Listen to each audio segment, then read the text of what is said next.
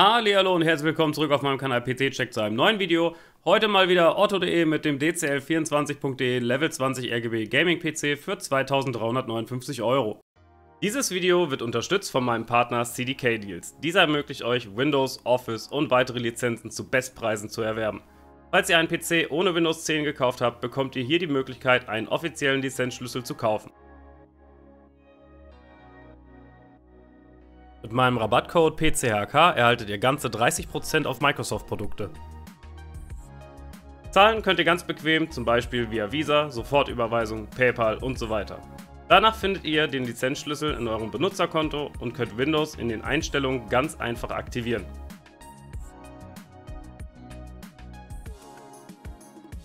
Wie ihr hier sehen könnt, funktioniert der Schlüssel einwandfrei und ihr habt später sogar die Möglichkeit, kostenlos auf Windows 11 zu upgraden.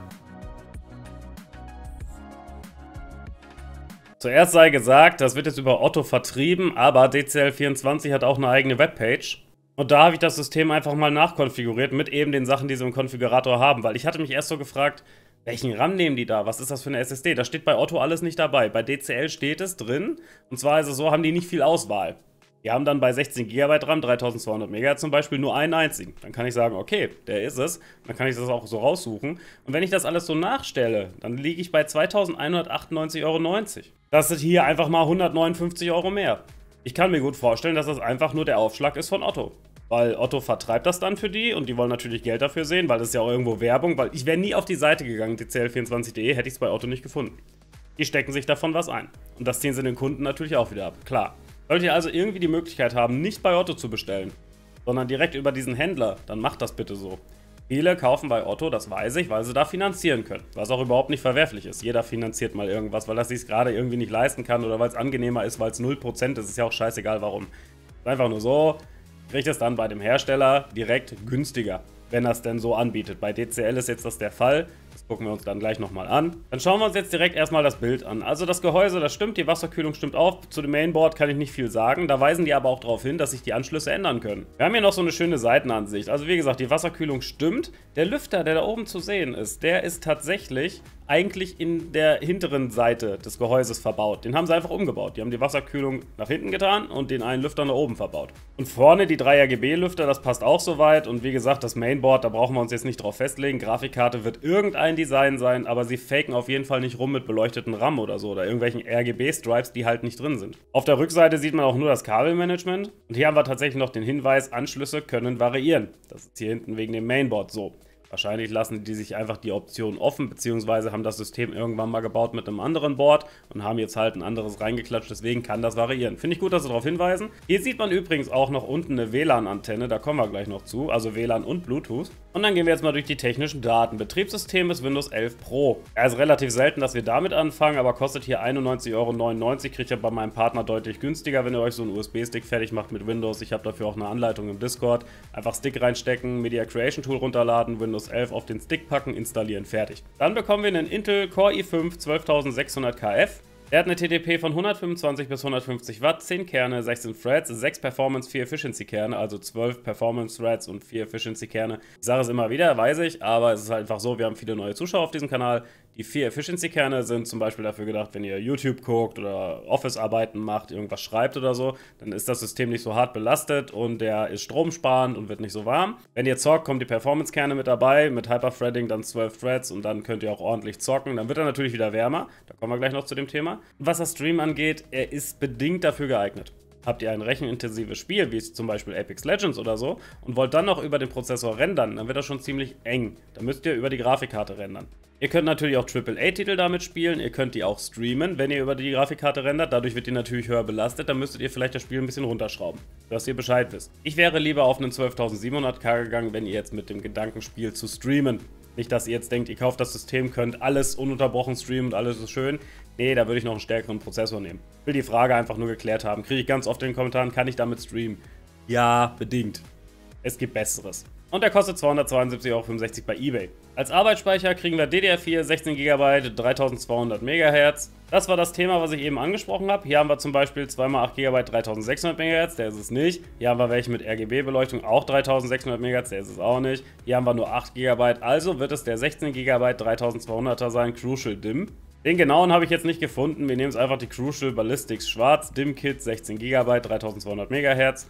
16 GB ist in der Preisklasse noch in Ordnung. 3200 MHz, ja, die sichern sich halt damit ab, ne? Ich verbaue immer 3600. 3200 ist halt das, was Intel vorgibt. Intel sagt, bis 3200 könnt ihr uns quasi in Haftung nehmen, wenn das System dann nicht läuft. Kommt der PC-Hersteller jetzt auf die Idee und packt 3600er rein, wie es zum Beispiel auch Dubaro gerne mal macht, dann kann es natürlich passieren, dass das System eventuell instabil läuft. Ist meistens nicht so, aber kann passieren. Und dann wäre halt Dubaro am Arsch oder halt in dem Fall jetzt DCL, weil sie dann wieder auf 3200 runtergehen müssen. Ich persönlich verbaue es halt immer. 3600 MHz. Es ist ein Aufpreis von 5 bis 10 Euro. Da kann man die Leistung ruhig noch mitnehmen. Das sind so 3-4% FPS mehr. Warum nicht? Aber das ist natürlich soweit okay, da kann ich jetzt nicht großartig meckern, ich hätte es halt einfach anders gemacht. Und der kostet 69,45 Euro bei Böttcher AG. Dann bekommen wir eine M.2 SSD 1000 GB. Die haben halt drei Stück zur Auswahl in ihrem Konfigurator, das ist die NV1, die Samsung 970 EVO oder die Samsung 980 Pro. Da sie nicht dabei geschrieben haben, dass das so eine ultraschnelle ist, weil ich würde es als Händler einfach dabei schreiben, dass es eine Samsung ist, gehe ich davon aus, dass sie die Kingston NV1 nehmen. Das ist auch, weiß Gott, nicht schlecht. Die hat eine Lese- und Schreibgeschwindigkeit von 2100 MB die Sekunde und 1700 MB die Sekunde. Zum Zocken reicht das völlig aus. Ähm, man kann sich natürlich eine schnellere kaufen, wenn man viel kopiert, viele Videos hin und her schiebt, Musik oder sonst was, ja. Aber zum Zocken reicht die dicke. Ein Terabyte, kann man drüber streiten. Ich hätte mir vielleicht noch eine HDD mit reingewünscht in das System. Aber ein Terabyte ist erstmal okay. Ihr könnt später ja auch noch erweitern. Wenn ihr irgendwann sagt, oh, das ist mir zu wenig, gibt das Mainboard auch noch ein paar Erweiterungsplätze her. Das ist kein Problem. Es gibt halt Spiele, die fressen viel Speicher. Ich habe gestern noch Far Cry runtergeladen, 130 GB. Dann habe ich äh, mal irgendwann Ark gespielt, beziehungsweise kriege ich auch Kommentare, 500 GB, keine Seltenheit, mit allen Mods und so. Ja, deswegen lasst es euch gesagt sein, ihr kommt erstmal damit aus, zum Erweitern könnt ihr später noch was dabei holen. Und die kostet 76,41 Euro bei Ebay, über Notebooks billiger. Haben die sich echt da gerade um 1 Cent unterboten, nur weil es Ebay ist? Das, das verstehe ich nicht. Weil es steht halt direkt hier drunter, ne? 76, 41 und 76, 2. Naja, wie auch immer, soll mir egal sein. Als Grafikkarte bekommen wir eine Nvidia RTX 3070 Ti 8 GB. Ja, da habe ich jetzt natürlich freie Hand, ne? Ich kann ja nehmen, was ich will. Beliebiger Hersteller halt, es wird nichts festgeschrieben. Das ist eine gute Grafikkarte, 8 GB ist auch noch okay. Wir haben auch gestern, wo wir beim Thema Far Cry sind, haben wir gesehen, dass die schon an ihre Grenzen kommt. Wir haben nämlich auch eine 3070 Ti im Haushalt von Asus. Die hat auch 8 GB, Far Cry genehmigt sich einfach mal 7,6 GB. Je nach Einstellung natürlich. Ihr könnt die AAA-Titel damit spielen, ihr könnt E-Sports-Games sowieso damit spielen, überhaupt kein Problem. Ist einfach so, ihr müsst vielleicht eure Grafik ein bisschen anpassen. Sagen wir jetzt mal, ihr wollt wirklich einen AAA-Titel wie Far Cry 6 oder Cyberpunk oder so spielen, müsst ihr, um gute Bildraten zu erreichen, wenn nicht sogar 144 Hz, weil ihr einen 144 Hz Monitor habt, die Grafik ein bisschen runterstellen. Es ist so, wie es ist. Es gibt noch stärkere. Es gibt eine 3080, 3080 Ti, 3090, wobei die relativ gleich sind. AMD hat auch noch ein paar. 3070 Ti ist aber eine gute Karte, kein Problem. Und die kostet 829 Euro bei notebooksbilliger.de. Leistung Netzteil sind 850 Watt. Ja, so viel Auswahl haben die auch nicht. Die haben T-Sonic mit 850 Watt und Thermal Take. Ich nehme jetzt das T-Sonic. Wenn ihr damit nicht einverstanden seid, rechnet hinterher ruhig noch diese, wie viel ist das? 50 Euro oder was obendrauf. Macht das von mir aus. Das Netzteil ist soweit okay, hat 5 Jahre Garantie, 80 plus Bronze-Zertifizierung. Gold-Netzteil hätte mir wesentlich besser gefallen. Festes Kabelmanagement, gut, kann euch erstmal egal sein. Wenn man natürlich hinterher daran rumschrauben will, ist es schön, wenn man ein modulares Netzteil hat, wo man die Kabel einzeln an- und abklemmen kann, die man gerade braucht. Dann fliegt nicht so viel im Gehäuse rum. Wie gesagt, kann euch erstmal egal sein. Für das System reichen 850 Watt auch völlig aus. Und das kostet 73,77 Euro bei Mindfactory. Beleuchtung, Gehäuse bzw. Detailsgehäuse, ja, RGB-Beleuchtung, Sichtfenster aus Glas, bla bla, wir wissen welches es ist. Die haben hier nämlich tatsächlich nur ein Thermal Take und das ist das Level 20 MT ARGB. Das ist soweit okay. Es gibt bessere Gehäuse mit besserem Airflow, die auch eine Mesh-Front haben und so. Bei dem Gehäuse ist es einfach so, die haben hier so einen 1 cm Schlitz, da saugt er sich das quasi dran, also auf beiden Seiten. Dann die Luft vorne rein, hinten wieder raus, weil die haben ja den Lüfter, der hier hinten verbaut ist, nach oben geklatscht und hier die Wasserkühlung dran gepappt. Vom Airflow her wird das schon reichen für dieses System. Gehe ich mal ganz stark von aus. Ich würde es mir persönlich wahrscheinlich nicht kaufen. Ich hatte es auch noch nie in der Hand. Kann auch sein, dass es qualitativ Bombe ist. Aber ich habe mit Thermal Take nicht so gute Erfahrungen. Vor allen Dingen, wenn wir mal über die Netzteile sprechen. Sind gerne mal abgeraucht. Habe ich früher gerne verbaut, sind alle kaputt gegangen. Also nicht alle, aber einige. Da bleibt man halt so einem Hersteller schon mal ein bisschen fern. Aber es reicht für dieses System aus, hat auch genug Platz im Gehäuse, auch für die Grafikkarte. Und das kostet 79 Euro bei Equipper. Was das Mainboard angeht, das ist ein Intel Z690 Chipsatz ATX 1700er Sockel, klar wegen dem Intel-Prozessor. Und das Schöne bei dem Konfigurator ist, die haben halt einfach nur eins. Das Gigabyte Mainboard Z690 UD DDR4. Hier haben wir es auch schon. Hat gekühlte Spannungswandler, vier RAM-Bänke. Hier kommt die SSD rein, hier die Grafikkarte. Hier unten könnt ihr noch zwei weitere SSDs erweitern oder hier zum Beispiel eine USB-Erweiterungskarte, wenn euch die Anschlüsse nicht reichen. Eine Capture-Card könnt ihr anschließen. Was die Anschlüsse angeht, haben wir Mikrofon, Kopfhörer, Line-In, Netzwerkanschluss, viermal USB 3.0, einmal USB 3.1 Typ A, einmal USB 3.1 Typ C, HDMI DisplayPort werdet ihr hier nicht verwenden, weil der Prozessor keine integrierte Grafikeinheit hat und ihr dementsprechend das Bild über die Grafikkarte zieht. Viermal USB 2.0 und PS2 werdet ihr wahrscheinlich auch nicht benutzen. Das ist erstmal ein grundsolides Board. 7.1 hat es auch, wenn ihr quasi die Anschlüsse beim Gehäuse noch mit benutzt. Ansonsten, ja gut, Z690 Chipsatz, ihr könntet den Prozessor theoretisch übertakten, ist halt ein K-Prozessor, hat einen freien Multiplikator, wenn ihr später übertakten wollt. Würde ich aber, was die Kühlung angeht, nicht machen. Kommen wir gleich noch zu. Und das kostet 188,27 Euro bei Mindfactory. Da kommen wir auch schon zum Kühlsystem. Wasserkühlung, Anzahl Wasserkühler 1. Wir haben es eben auf dem Bild gesehen und im Konfigurator steht es genauso. Thermaltake TH120 ARGB Sync. Ja, 120er AIO für den Prozessor ist mutig. Wäre auf eine 240er gegangen. Minimum. 120er, ja, zum Zocken vielleicht. Kommt ihr auf die Idee zu spielen und zu streamen gleichzeitig? Wird der zu warm? Gebe ich euch Brief und Siegel. Testet es ruhig, kauft das Ding, macht mal.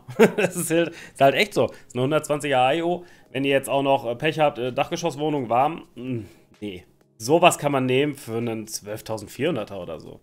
Aber ein 12.600er, das ist schon hart. Also ich sage ja grundsätzlich immer 240er soll schon sein. Vor allen Dingen, wenn ihr später noch mit dem Gedanken spielt, vielleicht einen stärkeren Prozessor zu kaufen.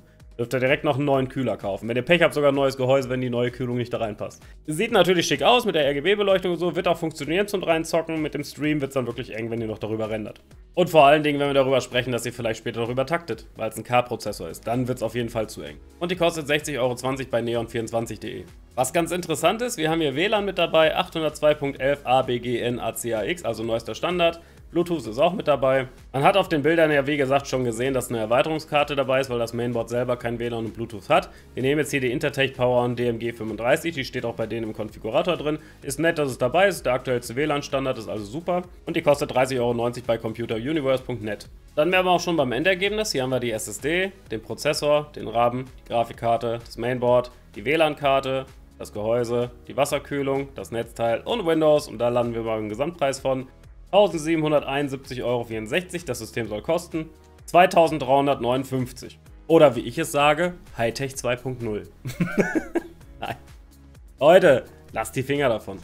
Lasst die. Äh, brauche ich noch was dazu sagen? Nein, brauche ich. Es ist halt einfach so, wenn ihr den Konfigurator nehmt, seid ihr noch ein bisschen günstiger, 159 Euro. Äh, lasst es trotzdem. Ich meine, das sind gegenüber dem Konfigurator, der schon günstiger ist, 400 Euro Unterschied. Und hier über 500 Euro. Lasst einfach die Finger davon. Das ist, ist, viel zu teuer. Es kann natürlich sein, dass es jetzt nur dieser hier ist. Weil den muss, also ich habe den quasi nachkonfiguriert bei denen. Konfigurierte PCs sind immer ein bisschen teurer, das ist klar. Nur selbst hier fertig bei Otto viel zu teuer. Viel zu teuer. Und ihr wisst nicht, was ihr genau bekommt, zumindest was die Grafikkarte auch angeht. Ihr könntet für das Geld das System nachstellen, sag ich mal bei Mindfactory, ihr wisst genau, was ihr kriegt, welche Grafikkarte, weil da gibt es sowas wie beliebiger Hersteller einfach nicht. Und da werdet ihr definitiv günstiger. Ihr bekommt die meisten Komponenten einfach bei Mindfactory und lasst es dafür 150 Euro zusammenklatschen. Gut, klar, ihr habt hier noch Garantie bei und so. Ich habe auch ganz oft das Thema, dass die Leute sagen, ey, du musst bei Geizhals auch die Versandkosten mit reinrechnen. Nein, muss ich nicht. Warum? Wenn man das alles eins zu eins nachstellen kann bei Mindfactory und das da zusammenbauen lässt, dann bezahlt man auch nur einmal Versand, genauso wie hier. Deswegen, äh, naja, das ist halt ein Thema, das ist nichtig, finde ich. Auch wenn ihr das System, ich habe es mal bei Dubaro nachgeklatscht, da kam ich irgendwie auf 2100, ne? Deswegen, äh, ja, lasst die Finger davon. Ich würde es nicht kaufen. Selbst wenn ihr darüber finanzieren wollt und so, ihr findet bestimmt einen anderen Shop, der finanzieren lässt. Weil viele bestellen, wie gesagt, bei Otto, weil sie aus welchen Gründen auch immer finanzieren wollen, weil es 0% ist oder was, und selbst dann ist es zu teuer. Nein, nein. Noch eine Sache, ich habe jetzt mal vor kurzem meine Konfiguration vorgestellt, was Intel anging. Ihr wollt jetzt unbedingt noch ein AMD-Video. Ich lasse mir damit ein bisschen Zeit. Ich warte gerade auf den Release von 5803DX. Ja, das ist jetzt der neue Prozessor oder der refurbished, redesignte Prozessor von AMD. Ähm, wenn der auf den Markt kommt, ich will mir ein paar Benchmark-Ergebnisse angucken, ob man da vielleicht was Besseres zusammenstellen kann, bevor ich euch jetzt ein falsches Video poste, wo ich sage, nehmt den 5800er ohne 3DX, dass ihr da Bescheid wisst. Gut, dann lasst gerne einen Kommentar da, lasst ein Däumchen nach oben da. Vielen Dank fürs Zuschauen, abonniert den Kanal, wenn ihr das noch nicht gemacht habt. Bis dahin, auf Wiedersehen und ciao, ciao.